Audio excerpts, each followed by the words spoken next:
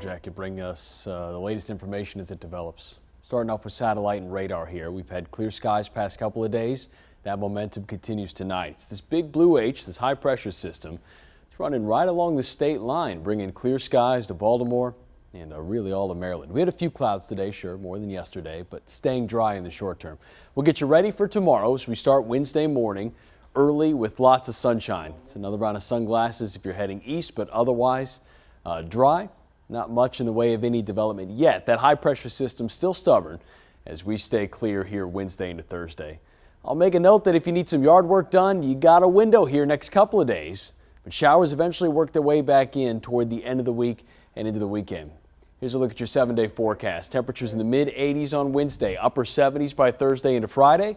That's a cold front that works its way in by the end of the week. Not only bringing back rain chances for part of the weekend, and of course, uh, O's game one on Saturday. There'll be some showers around. Uh, big temperature drop. Mid 60s back on Sunday, 63 on Monday, and 67 into Tuesday. Partly cloudy skies early next week. Good to get some Halloween decorations up while it's still warm.